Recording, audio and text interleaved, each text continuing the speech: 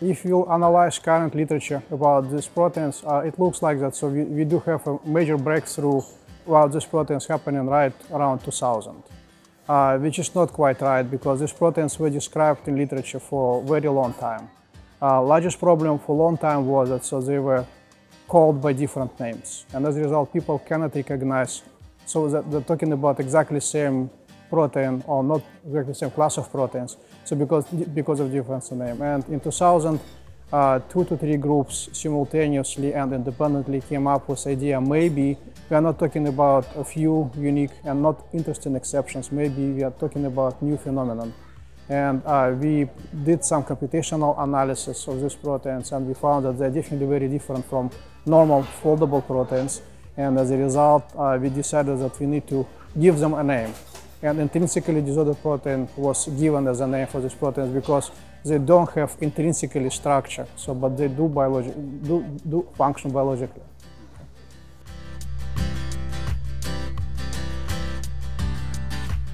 So because, uh, as it follows from computational studies, uh, these proteins are very common. Uh, so they, they constitute in uh, probably about half of any given proteome. So, and uh, because of vast majority of protein science in past was done without taking these proteins into account, now we need to redo everything. So by taking these proteins into account. And the question about using them as a drug target, uh, it's also a very good one.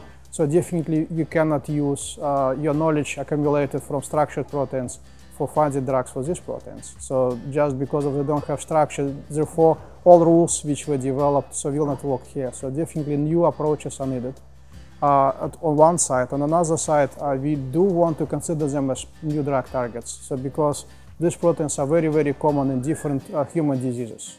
So they're regulators, they're controllers, so they're signal transductors. So and as a result, uh, you need to use them as something to fight with cancer, with neurodegenerative disease, with cardiovascular disease, uh, almost any complex disorder. So it will be such kind of protein.